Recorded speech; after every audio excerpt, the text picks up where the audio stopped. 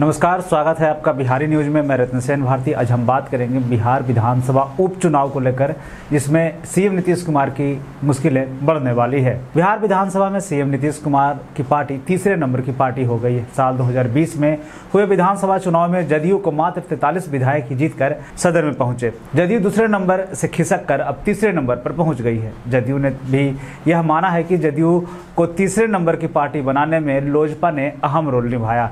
और लोजपा की तरफ़ से भी यह कहा गया कि हम नीतीश कुमार को हराने में कामयाब हुए। हमारी पार्टी ने उन्हें नुकसान पहुँचाया है। लोजपा और जदयू के इस सियासी खेल में सबसे ज़्यादा फ़ायदा राजद को हुआ। 2020 विधानसभा चुनाव में राजद सबसे बड़ी पार्टी बनकर सामने आई। उसके बाद बीजेपी और तीसरे नंबर पर जदयू। बिहार में दो सीटों पर विधानसभा का उपचुनाव होना है। दोनों सीटों पर जदयू के विधायक के निधन के बाद खाली हुई है। आपको बता दें कि मुंगेर ज़िले के तारापुर विधानसभा सीट जदयू नेता मेवालाल चौधरी के निधन के बाद खाली हुई है, जबकि दरभंगा ज़िले के कुशेश्वर स्थान विधानसभा सीट जदयू नेता शशिभूषण हजारी के निधन के बाद खाली हुई है। विधानसभा चुनाव में काफ़ी कम सीटें मिलने से जदयू पहले ही बिहार में तीसरे नंबर की पार्टी है। दो विधायकों के निधन के बाद से जदयू को बड़ा झटका लगा। आपको बता दें कि इन दोनों सीटों के लिए अगले छह महीने में उपचुनाव होने हैं। बिहार विधानसभा चुनाव 2020 के बाद से लोजपा और जदयू के बीच में हमेशा सीट युद्ध जारी रहा। दोनों ही तरफ़ से नेताओं की जुबानी जंग भी जारी रही।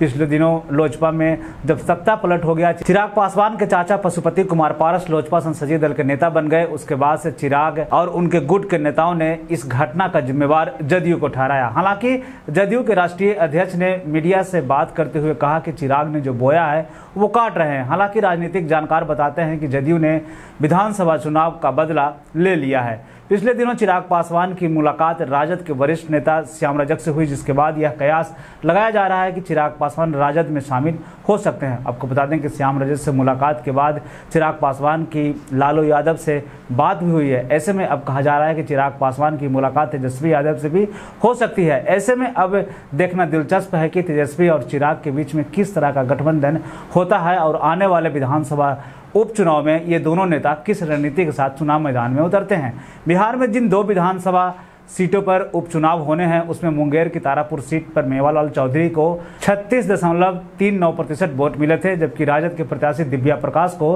बत्तीस दशमलव आठ ज़ीरो प्रतिशत वोट मिले। वहीं लोजपा की मीना देवी तीसरे नंबर पर रही और इन्हें छः दशमलव फोर फाइव प्रतिशत वोट मिले थे।